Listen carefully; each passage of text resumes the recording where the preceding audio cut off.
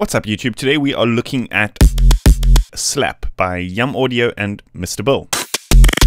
So first, before we get started, full disclosure, this is not a sponsored video. However, they did actually send me a copy of this plugin to have a look at, but they're not asking to see the video beforehand, so they're not altering my opinion in any way. Also, that being said, is they've extended a bit of a discount, and I'm going to also be doing a bit of a giveaway. So like I mentioned before, Yum Audio will be extending a discount using the following code, which I'm also going to post in the description and in the first pinned comment. They're also told me that they've recently launched a Discord channel, and anybody joining their Discord channel gets an extra 20% discount coupon. So you can actually use the glitch as well as their Discord coupon.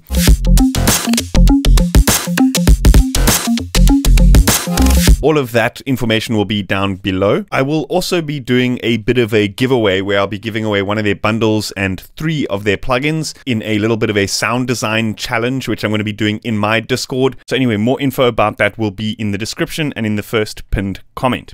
Anyway, let's dive in and have a look at Slap by Yum Audio and Mr. Bill. So Slap is an audio effect designed to replace and enhance the transients of your sounds. So you may be wondering why I don't just do this kind of thing using the Bitwig replacer device. And there's a couple of reasons. I feel like Slap is a little bit tighter and more responsive, specifically for faster repeating signals. For example, if we have a look at replacer, sometimes it doesn't quite hit it. I mean, we can still dial in the threshold and the hold, but you'll still see sometimes some of these hits don't quite make it through.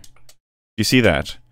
Whereas I feel like with Slap, it's almost like hits every single transient, even these really fast repeats.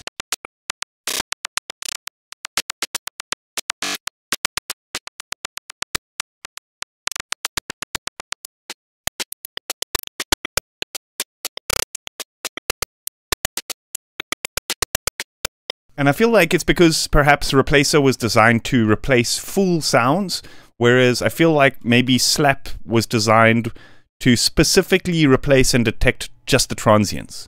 So maybe that's why it's just a little bit more responsive for these really fast, clicky signals. Anyway, that aside, it comes with a variety of really good samples to just quickly get a good sound straight off the bat, and also a variety of really cool effects, which we're going to look at in this video. So like I said, you can potentially get very similar results using Bitwig's replacer and a bunch of other Bitwig devices and your own homebrewed samples and all that kind of thing. But just being able to throw something on which has a selection of everything that you need at your fingertips is a workflow enhancer for sure. Okay, so let's quickly run through the interface and the features. So top left, you have the sample player section. This is where you can choose the different categories of samples and the different samples themselves. You can load in your own custom samples as well. Over here is where you choose whether you want the actual the plugin to do its thing or not, or at least the sample section to be on or not.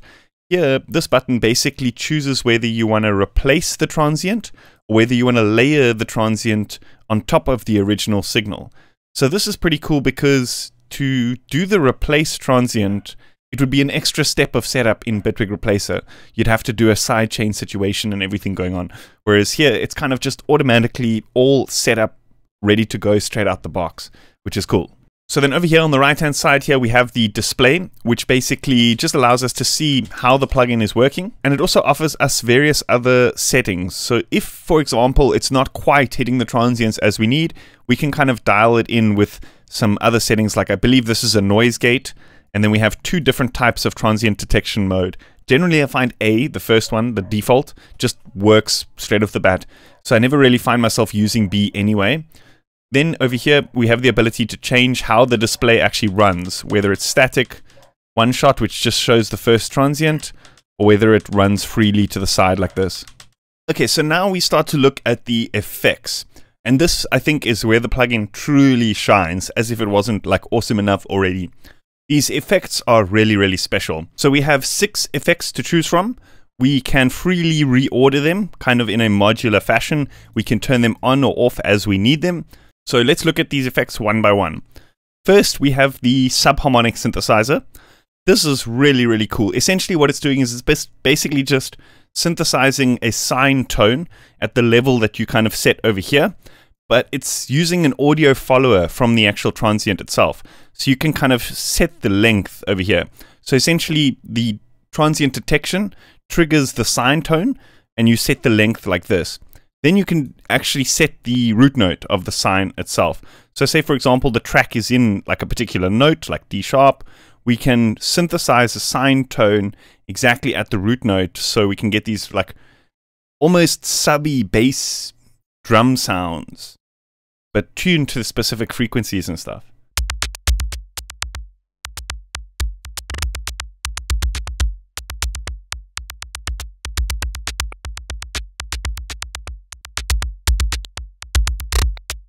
Okay, the next effect we have is the transient shaper, shape. So this basically just allows you to dial in the attack and release. I think by tight and snap, or at least I think this is attack and attack speed.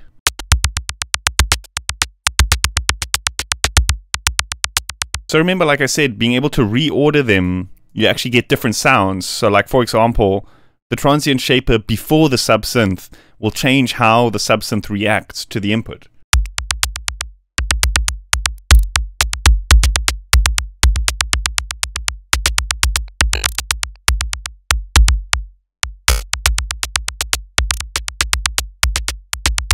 The next effect is fat. I believe this is kind of like an OTT.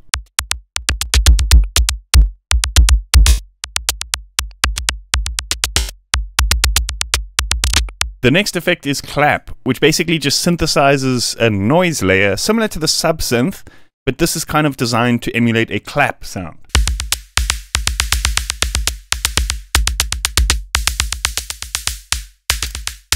And the next one is spray, which is a reverb.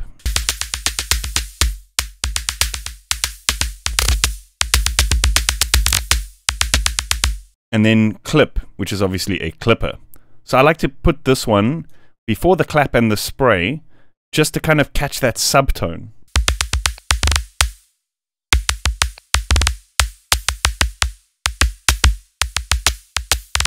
And then we have some uh, three dials over here which dial in the overall effect sounds. So squash would be final compression, low cut would be EQ, and tame is again more EQ. I think this removes some of the top and this removes some of the bottom.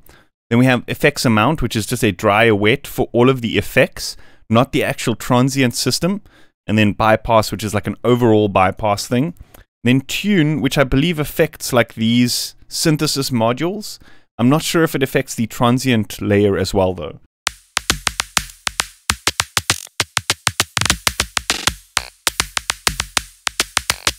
So we could potentially key track this using one of Bitwig's modulators to get that sub to kind of like hit like tuned 808. Do you know what I mean? So let's actually reduce some of this low cut because we want to hear that.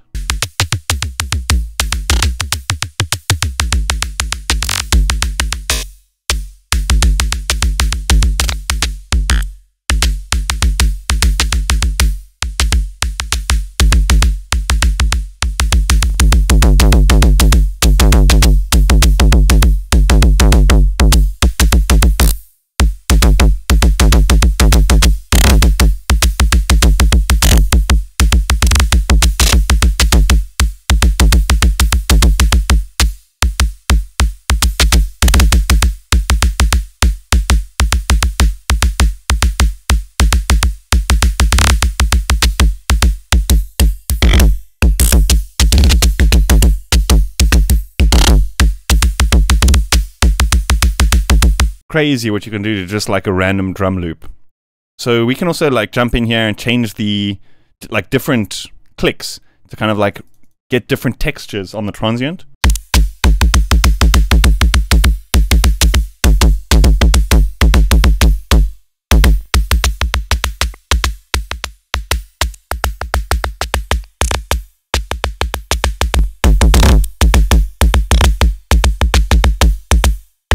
Can also pitch shift this using this parameter over here. We can gain it using this parameter over here. We can change the timbre, which I believe is like a filter over here. And then we can also choose loop points or like start and end points for the sample using these green bars over here.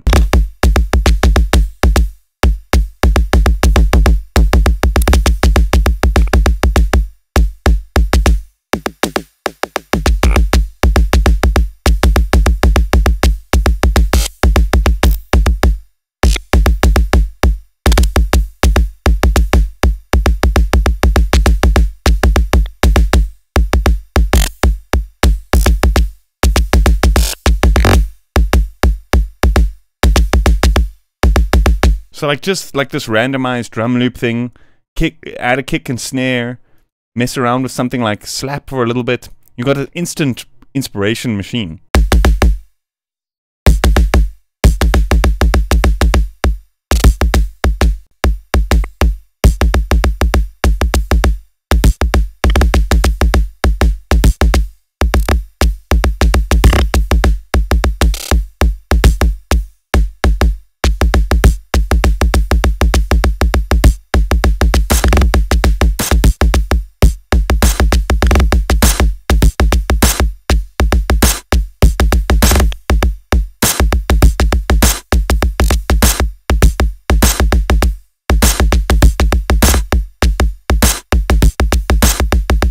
So sick. Listen to it without slap.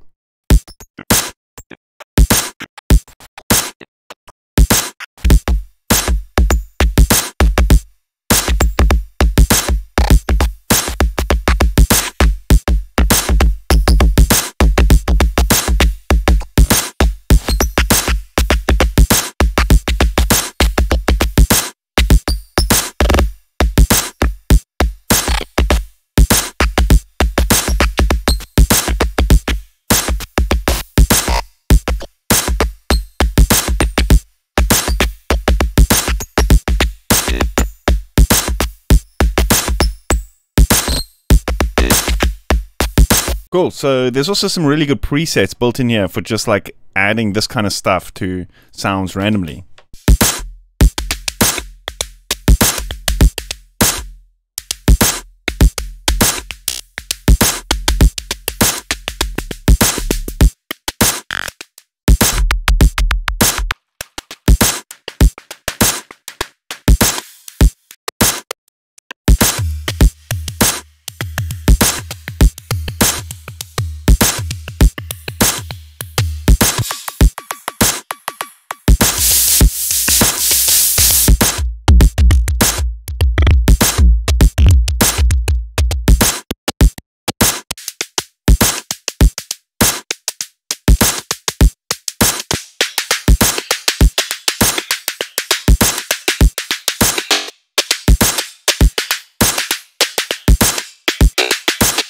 Fantastic, fantastic sound for just transforming things.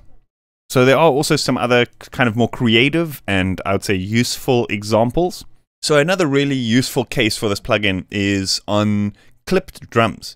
So often for this kind of more heavier drum sound, we often end up clipping the drums quite heavily. I mean, if we look at the sample, we can see the extent of the clipping that's happening here. But it kind of adds to the tone of the sound.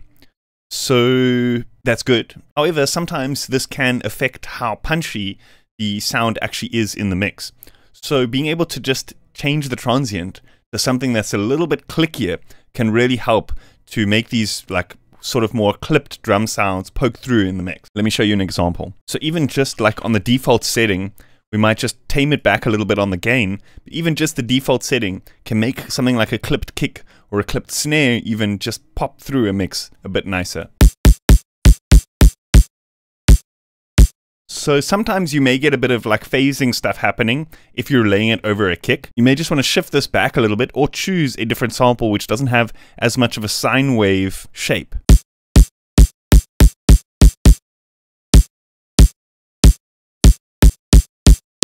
And then sometimes instead of replacing, I'll use the layer when I'm doing it in this context, just because you can kind of almost hear that replacement kind of side chaining in.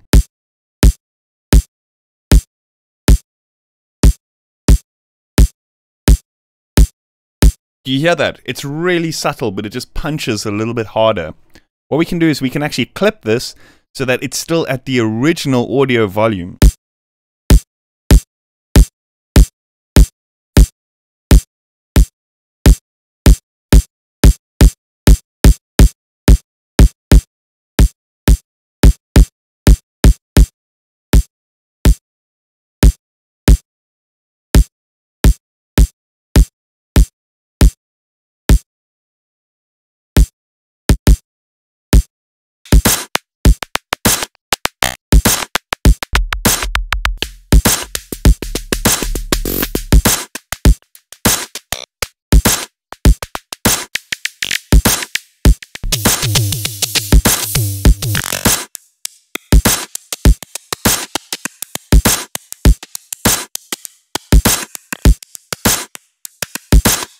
So this can also be good on something like a drum bus, like the kick and the snare. Although in these situations, I like to put a different one on the snare because we can use something like that clap synthesizer to just give it a bit more room, like almost a bit of like drum reverb being synthesized over the top. So here we have the same transient on the kick and the snare, except we're just adding a little bit of extra maybe reverb and clap to the snare to just give it a bit more liveliness. Having the same transient on the kick and the snare can almost gel them together. It kind of sounds like it's coming from the same space.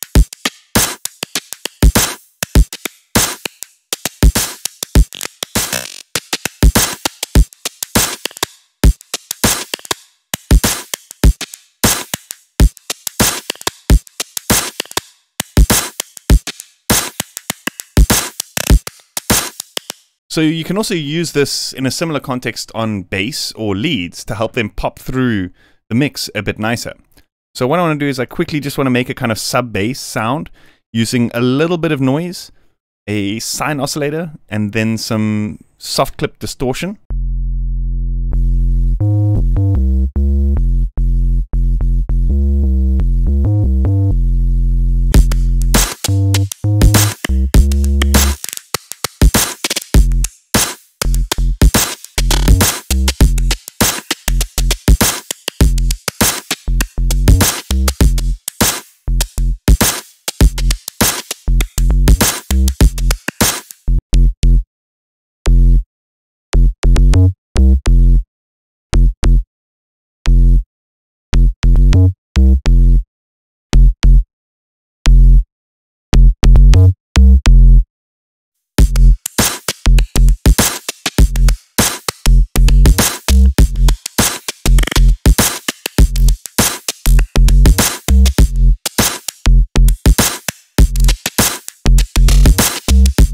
Notice how a lot of these sounds have a very similar texture in the kind of transient and it kind of glues them together in the groove.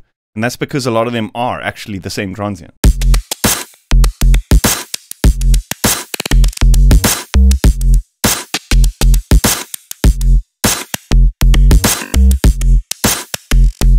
And I mean, it's the same with leads. You know, you can use this to help leads cut through the track. So, for example, here, let's duplicate this going to just change the context a little bit. Like, for example, set this to uh, like the init. So specifically with like detuned stuff, it can be very apparent that like the transient isn't quite there, you know?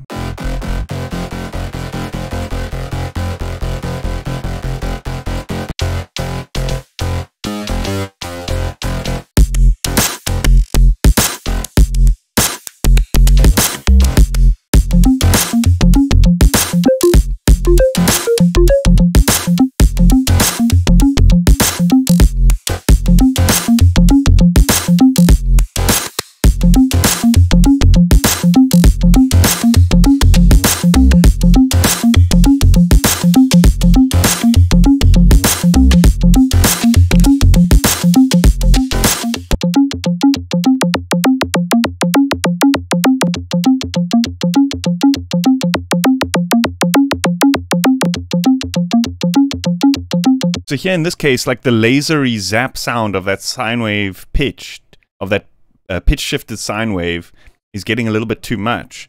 So here in this context, we're using slap to kind of replace it with something that's a little bit less harsh. So we're kind of soothing the transient of this harsh transient with this plugin as well, which is something that you can do. So it's kind of like the opposite effect.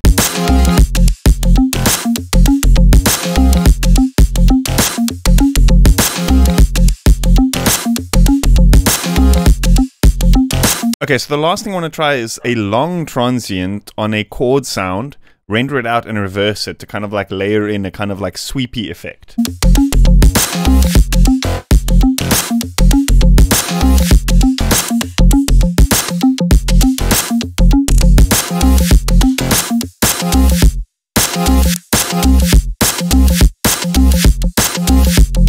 That is cool. That is cool. I really like that kind of like off kilter groove that that creates. You know, adding a long transient and then reversing it.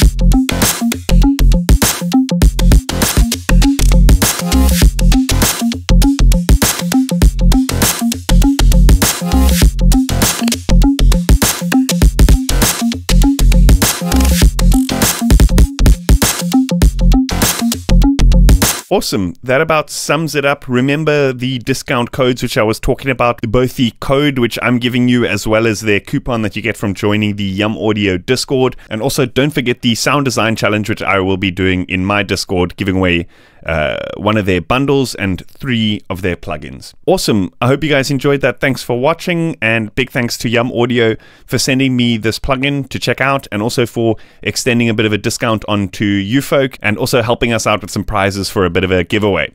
So, anyway, hope you guys enjoyed that. Let me know what you think in the comments. As always, if you haven't yet, please consider subscribing to my channel and hitting that like button. I'll see you guys next time. Cheers.